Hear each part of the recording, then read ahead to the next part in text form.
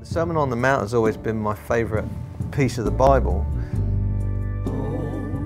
You know, we spend our lives kind of like trying to climb some sort of spiritual ladder when all the movement is God coming towards us. This is for everyone. You're a giver, not a taker.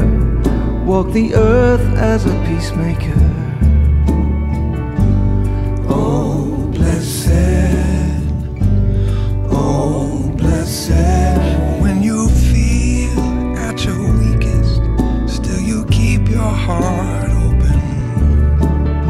This project is about, you know, kind of reaching beyond the differences and finding connection points, bringing people together. Help